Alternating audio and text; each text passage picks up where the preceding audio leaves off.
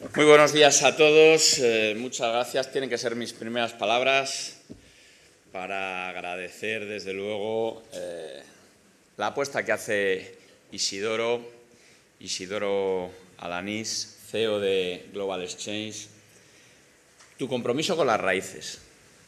Qué bien has hablado de tu tierra, de las fortalezas y de aquello en lo que tenemos que mejorar. Yo he tomado buena nota, y el consejero sobre todo, de aquello en lo que tenemos que hacer un esfuerzo. Eh, pero, insisto, creo que si uno no tiene claro cuáles son sus raíces, es muy difícil, como los árboles, que no tengas un crecimiento largo y duradero. Y tú sabes cuáles son tus raíces. Salamanca, Fuentes de Oñoro, y, por supuesto, te lo agradecemos de corazón desde Salamanca y desde Castilla y León para España y el mundo entero. Quiero saludar al alcalde anfitrión, aquí hay muchas alcaldesas y alcaldes. Eh, quiero saludar al alcalde de Salamanca, querido Carlos, muchas gracias también por tu intervención y tus palabras, al consejero, al presidente de la Diputación, presidente de la Audiencia, diputados y senadores, la secretaria de las Cortes de Castilla y León, en fin, podría estar aquí hablando representantes de la Universidad de Salamanca, de la Universidad Pontificia, también el presidente del Consejo Económico y Social, del Consejo Regional de Cámaras, de la Cámara de Comercio, representantes de la Sociedad de Salamanca, de los medios de comunicación.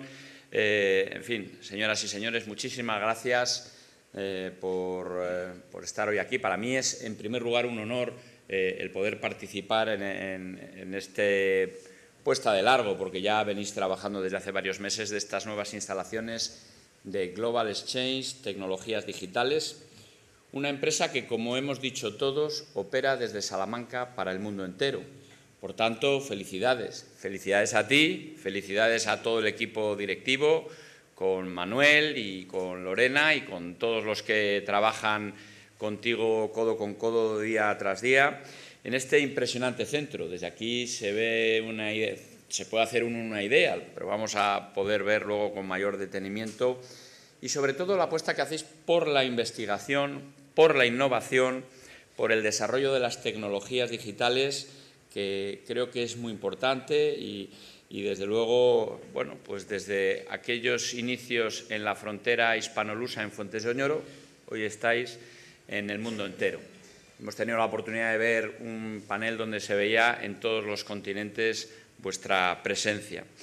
Prestando servicios de cambio de moneda, pero habéis hecho una apuesta con proyectos vanguardistas y sobre todo en constante crecimiento, con una presencia, como decía antes, en el mundo entero.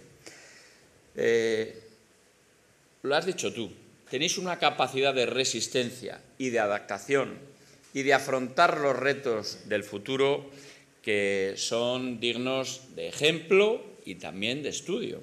Una capacidad de adaptación y de ejemplo que desde Salamanca podemos seguir mostrando al mundo entero. Lo decía, una apuesta clara por la tecnología, una apuesta clara por la modernización, la innovación y, por supuesto, lo que buscáis es la excelencia y lo estáis consiguiendo. Y la excelencia implica no parar nunca de seguir innovando y yo creo que esa es la línea del modelo empresarial que nosotros queremos eh, que se implante en Castilla y León y seguir desarrollando en Castilla y León. Por eso estamos al lado de las empresas que quieren invertir y crear empleo en nuestra comunidad. Lo has dicho tú, os hemos apoyado en planes de I más D Sabemos que tenemos que seguir mejorando para seguir apoyando en otros ámbitos, pero siempre contaréis con nuestro apoyo. Yo quiero decir que desde el Gobierno de Castilla y León siempre abrimos las puertas a todos aquellos empresarios que quieren invertir, que quieren crecer, que quieren desarrollar su proyecto empresarial en Castilla y León.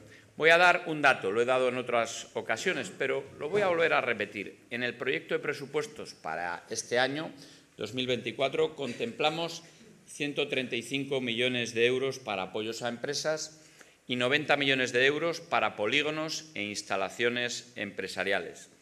A modo de ejemplo, de esos 90 millones para promoción de suelo industrial, 20 van destinados a Salamanca y su entorno y también a Ciudad Rodrigo, que veía por aquí al alcalde de Ciudad Rodrigo.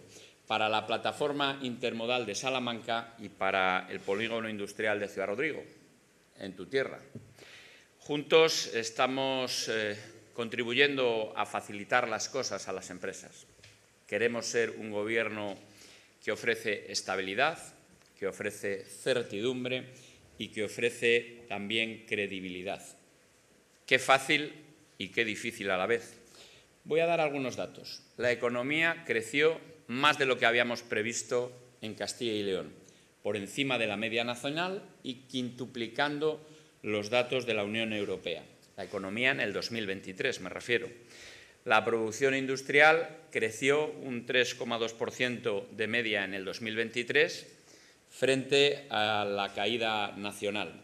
También otro dato reciente, la inversión extranjera en Castilla y León en los últimos cinco años se ha incrementado un 86% frente al descenso de, un 50% eh, en España.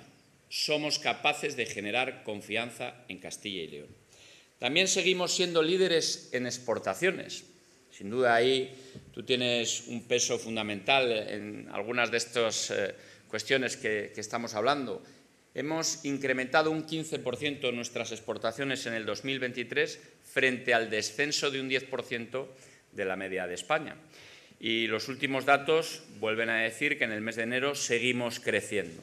Por tanto, las cosas van bien en Castilla y León y tiene una repercusión muy importante en el empleo que es una de tus ambiciones, crear empleo, apostar por la atracción de talento, la retención del talento joven en eh, tu tierra, en Salamanca. Pues bien, eh, desde el Gobierno de Castilla y León y con todas estas políticas podemos comprobar que llevamos 35 meses seguidos de aumento de las afiliaciones a la seguridad social.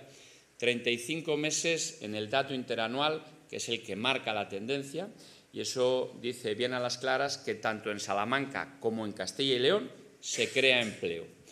Decir también que vosotros, desde Global Exchange, venís contribuyendo de manera decisiva. Son 2.400 personas en el grupo. Es verdad que eh, en todo el mundo, pero aquí en Salamanca, en este centro, queréis llegar a casi 200 personas. Eso es un dato muy importante y, desde luego, eh, quiero reconocerlo y agradecerlo, querido Isidoro. Y además sois un ejemplo de proyección exterior.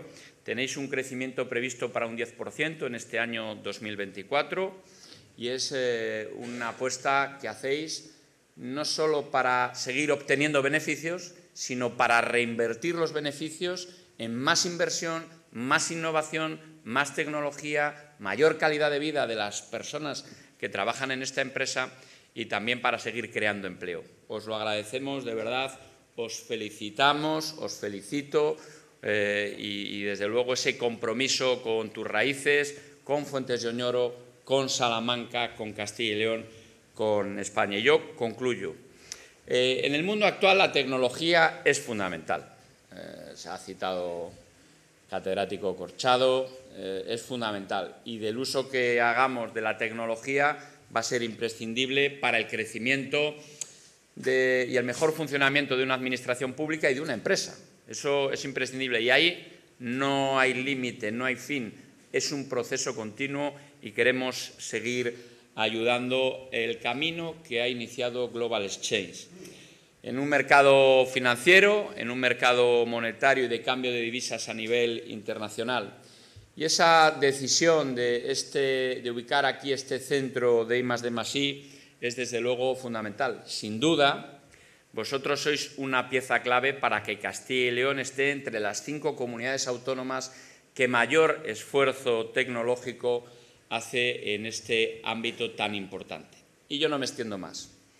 Quiero agradecer a todos su presencia, quiero dar la enhorabuena a Isidoro, a toda tu familia, desde el recuerdo a tu padre, que fue quien empezó hace muchos años, y algo muy importante, que os introdujo en el sentimiento la capacidad de emprender, la capacidad de seguir creando, la capacidad de crear puestos de trabajo, de crear empleo, de generar un entorno más amable para todos los que están en vuestra empresa y a todos los que están a vuestro alrededor. Y por eso, muchísimas gracias a ti y a todos los que formáis parte de Global Exchange. Gracias de corazón.